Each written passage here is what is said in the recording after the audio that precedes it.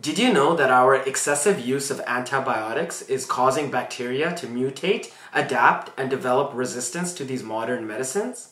Keep watching and I'll explain how we have managed infections caused by bacteria in the past and why we may not be able to innovate our way out of the coming public health crisis.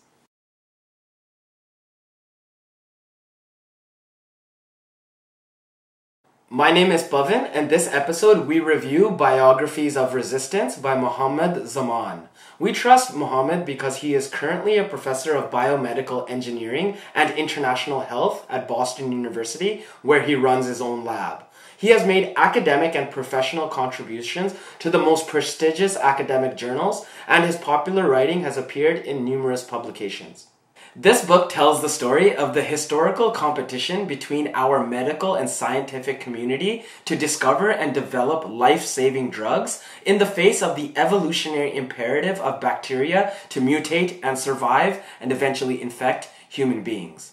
However, we may be heading towards catastrophe as bacteria are transforming in a manner that makes our current crop of antibiotics ineffective, and we may not be able to stay ahead of the curve. Through the work of inspired and driven researchers and doctors, we have taken on and eradicated many diseases that used to be deadly, but we may not be so fortunate in the future.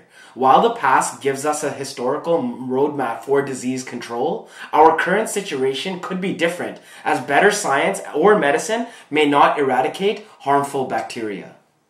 Bacteria that affect our human bodies have a chance to move and mutate in a way that they never have before, as our world is so much more connected geographically and the speed with which we interact with each other is so much more fast paced. The book describes how these global conditions will not just impact places that have poor economic conditions or deficient health infrastructure, but will affect the whole world with drug resistant infections. The book describes the shift in our understanding of bacteria that occurred during the scientific revolution that took place in Europe beginning in the 17th century. Germ theory began to take hold and is still prevalent today as it allows us to trace diseases based on specific bacteria and devise treatments based on science. The assumption was that bacteria mutate and develop resistance to antibiotics they come in contact with leading to the perception that our excessive use of medicine was causing certain bacteria to develop defense mechanisms. However, the book presents new evidence that shows bacteria becoming naturally resistant to modern pharmaceuticals, which is scary because that means that it is not simply our ubiquitous use of antibiotics that can cause pathogens to spread. A consistent thread that ties the book together is the difficulty caused by corporations pursuing science innovation based on the hunt for greater profits. The chase for economic returns, combined with government regulators siding with these firms, led to corruption as there was many cover-ups of faulty medicine.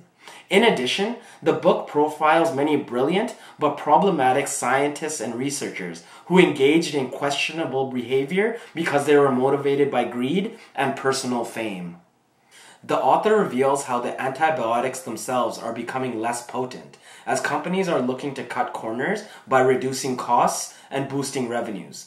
This short term business operation by pharmaceutical companies disproportionately affects poor people, as the only drugs they can now afford are substandard, filled with impurities, and generally not effective.